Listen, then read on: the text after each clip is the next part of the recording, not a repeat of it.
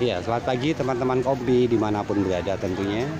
Salam damai dan sejahtera untuk Anda. Semoga Anda semua tetap sehat dan berbahagia bersama keluarga.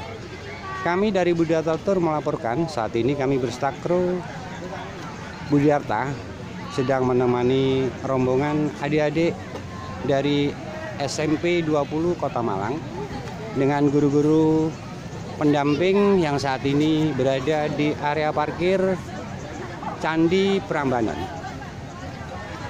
Beliau sedang menikmati mengabadikan gambar untuk keperluan dokumentasi sekolah.